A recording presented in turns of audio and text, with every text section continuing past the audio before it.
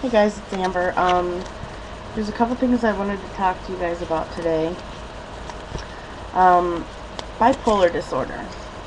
I suffer from it. Um, and I have for a really long time. Um, it pretty much it runs in my family, um, and it's it is genetic. Uh, my dad was bipolar. Um, my grandpa on my mom's side, my aunt, um, another one of my aunts. Uh, my sister is bipolar ADHD. Um, so it's nothing that I'm not used to dealing with. I've dealt with people that were bipolar my whole life. Um, I pretty much self-diagnosed myself when I was, um, I don't know, like 15, 16, right around there. Um, I just was never treated for it. And recently I did go to the psychologist, as everybody knows, and I went to the psychiatrist and I was officially diagnosed bipolar. Um, so there's just, I just wanted to um, kind of give everybody a general idea of what bipolar is and um, how it affects me. It doesn't affect everybody the same. The general idea does, but I'm just going to kind of give you some insights on how it affects me um, personally. Um, I used to call it my funk. When I would have my episodes um, of manic and depressive, I would be in what I would call my funk. Um, and I still kind of call it that, but it's more. Lately, I've been calling it my bipolar, I guess because now it has an official name. Um, it is a brain disorder that causes extreme moods, um, extreme mood swings. Um, it's like you have no control of your body. Uh, let's see. You can't you can't change your moods um, just like everybody else. It's way more severe moods. Um, like normal people are like here uh, bipolar, the manic can go up here, and then the depressive way down here, and back up and back down, and back up and back down. Um, very frequently. I usually um, have my episodes three to four times a year, all depending on what's going on in my life. Um, you know, situational circumstances make it a little bit different. Um, only 1% of the population suffers from bipolar disorder. And that, I, it's kind of funny to me. I figured it'd be a whole lot more. But, um, I guess with everybody in my family that's bipolar, I just assumed that more people in the world would be diagnosed bipolar. Um, now, one of the phases of bipolar, uh, it's the manic phase, and that's where the highs come in. Um, you feel like you're on top of the world. You feel like you're on cloud nine. Um, like on a scale from one to ten, you feel like you're at fifty. Um, you there's certain things that happen um, that you do um, when you're in the manic stage. Uh, one can be spending money, getting yourself into debt, um, being promiscuous, um, and having insomnia or a want to not sleep. Um, and I have all of them sometimes. Sometimes I only have one one or so. um, and when I'm in my highs, in my manic phase, I feel awesome. I feel like I'm on top of the world. Um, nobody can bring me down. Nobody can nobody can piss me off because I don't care. Um, it's almost it's almost a cocky feeling, but it's almost like the high is so great. It's almost like a cocaine high. Um, nothing can bring me down. and my mood stays like that for a while. Sometimes it's a day, sometimes it's a couple days or a week. Um, I really don't think it's ever been more than a week, week and a half for me. And um, then after that, um, sometimes I'll have like a normal day or two in between the manic and depressive phase. And then after the normal couple days, I go into my depressive stage where I'm really low um, and I hate everybody and everything. Um, I can't I can't bring myself out of it. I feel absolutely awful. Um, I sleep all day long. The only reason I get out of bed in the morning is to go to work. I go to work, I come home, I get back in the bed. And so I'm in the bed sometimes 18 hours a day. And that's a really long time. Um, on a scale of 1 to 10, I, in my depressive low stage, I feel like I'm at a negative 50. Like the highs, scale of 1 to 10, it's like a 50, positive 50. My lows, scale of 1 to 10, it's like a negative 50. So, I mean, it's completely extreme, you know, one end to the other. Um, during the depressive phase, I am not very nice. I'm a bitch and I don't care. Um, you end up pretty much shutting everybody out, um, or you hurt the ones that you care about the most.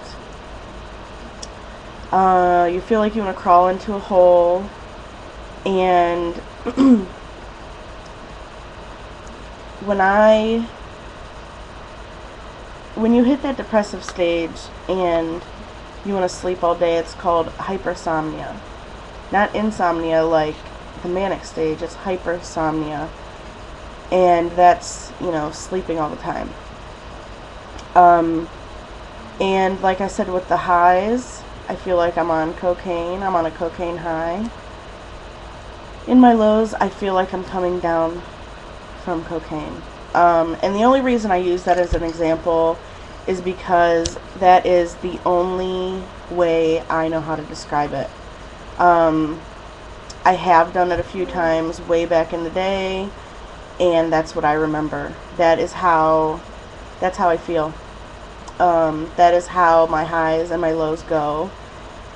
And I don't even have to do a drug to, to feel it. Not that that's a good thing or a bad thing, but um, that's just kind of how it happens, how it makes me feel and um, you know how how my bipolar is. Um, I do have normal days in between. Um, actually, quite a few normal days I have in between. I really only go through my funk or my bipolar episode um, three to four times a year.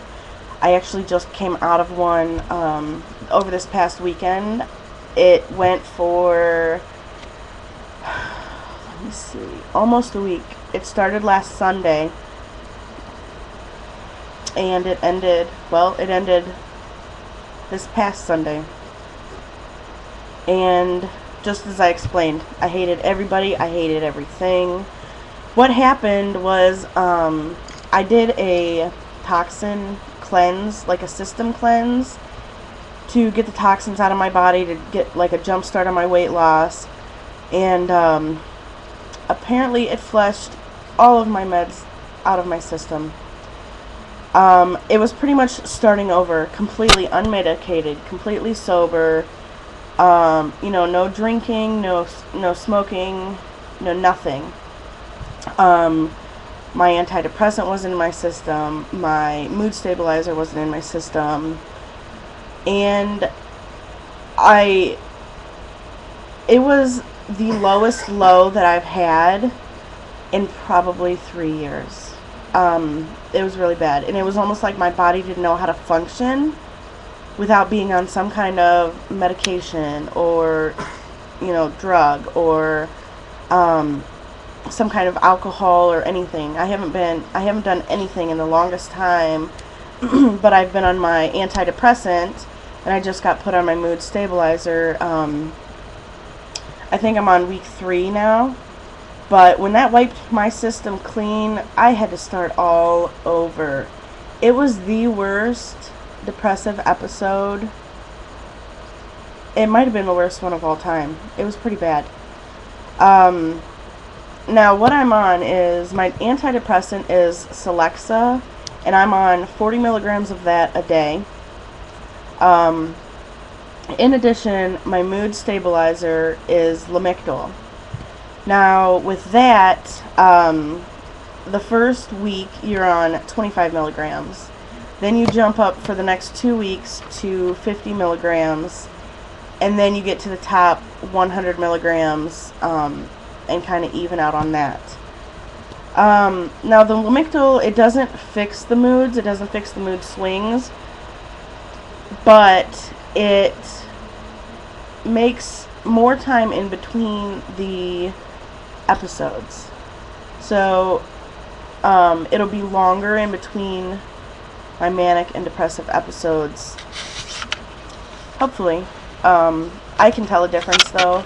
My mood is better. Um, I feel like I can do more things as far as getting outside. Um, I took my daughter out last weekend and we played ball outside for probably 45 minutes. I'm not an outside person. I, for the most part, would rather stay inside all by myself, locked up in my house, doing nothing, just cleaning or, you know, watching TV or whatever. Um, I'm not very social when I'm like that. When I'm in a normal to depressive state, I'm not social at all. And, you know, people around me notice that these things are changing um, that my Lamictal really is working. My mom yesterday had said it. She said, you know, I can tell that the Lamictal is doing you good because you're actually outside. You know, you're you're playing with Aaliyah, my daughter. You know, I'm playing with her more, and you know, I just I just feel like doing more things. Um, now this kind of coincides with my weight loss surgery in the way that um, when I'm in my manic moods and I'm feeling, you know, on top of the world, I feel great. That's when I tend to stick to my diet. Um, I stick to my exercise, which um, I get on the treadmill uh, pretty much for the most part. Um, I'm really not doing too much else um, as of right now because I'm really having problems with my knees, but I'll get into that a little bit later. Um, but in my manic episodes, when I'm really, really high, I stick with my diet and I care about, you know, being healthier and having my surgery and, you know, being being able to do things with my daughter that I can't do right now that I can't do until you know I lose some weight and my knees stop hurting and you know I can fit into like the slide. We go to the park and there's this huge slide and my daughter always wants me to go up there with her and I don't go up there because I don't think I will fit through the bars to get to the slide. Um, so that's kind of one of the non-scale victories I'm kind of waiting for. Because, you know, I want to do those type of things. I want to be able to play with her and take her to the park and run around everywhere and, you know, be able to do that. Um, now, when I'm in my depressive state, I do not give a damn about my diet. Um, I don't care. I completely blow my diet. I eat whatever I want to eat whenever I want to eat it. Um, and it's like I don't care. I don't care about anything. I don't care if I stay fat. I don't care if I get skinny. I just don't care. Um, and through these episodes, like when I hit my manic